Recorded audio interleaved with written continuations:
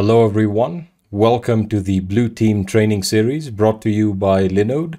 This is an introductory guide to Blue Team operations. So to get started, I just want to take a couple of seconds to thank our sponsor for this video series, which is of course Linode. Uh, you know, this type of training is made possible by the great people at Linode. A little bit about Linode if you're not familiar with them. Linode is a privately owned cloud hosting company that is passionate about Linux and loves contributing to the community by providing free training on Linux information security and DevOps. Uh, by this point, you should already know that we've had a very good partnership with them in regards to bringing you guys free training on, uh, you know, securing Linux, uh, securing Docker, uh, the Red Team series, which uh, you guys really liked. And now we're actually starting off with the Blue Team series.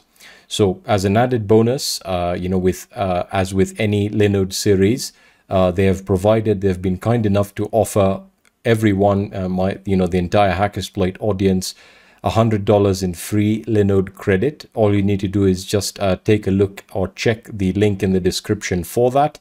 Uh, all you need to do is just register and you'll get $100 of free credit so you can actually play around with the Linode platform, create your own, uh, you know, create your own instances or servers and uh, you can essentially follow along with this series where applicable. All right, so let's take a look at the series structure. So as with all Linode series, uh, this series is going to be split into two parts. Uh, one of which is going to be available free on YouTube. Uh, this is the part that you're watching. Part two is also free. Uh, you don't need to pay anything. It's absolutely free. The only thing you need to do is just click the link in the description, uh, register for it, and a, an email will be sent to you providing you uh, access to all the videos, uh, you know, that are part of part two on demand. So part one will consist of network traffic analysis with Wireshark, intrusion detection with Snort, threat detection with Wazuh, intrusion detection with Suricata, security event monitoring with Splunk. So the objective of part one is to introduce you to uh, traffic analysis, intrusion detection, uh, threat detection, and of course security event monitoring uh, with Splunk. So this is really, uh, you know, the best way to introduce you to blue team uh, operations. Uh, and that, that, of course, is to focus on uh, firstly analyzing traffic in order to uh, essentially identify any malicious activity. And we'll be doing that through Wireshark. That's this video that you're watching right now. We're then going to be taking a look at how to detect intrusions on a network with different solutions like Snort and Suricata. We'll be taking a look at how to set them up and how to uh, essentially write rules to identify uh, intrusions or any malicious uh, activity within a network. And then, of course, we'll be touching upon threat detection with Wazuh, which is uh, really, really cool. You'll actually see how that will work. And then, of course, we have security event monitoring with Splunk, or uh, really uh, simply put, how to, uh, you know, essentially set up Splunk for security event monitoring. Part two of this uh, series is uh, built to build upon part one in that we cover host-based intrusion detection with OSSEC or OSSEC and uh, that will really uh, end the the whole um, the whole topic of uh, intrusions or intrusion detection.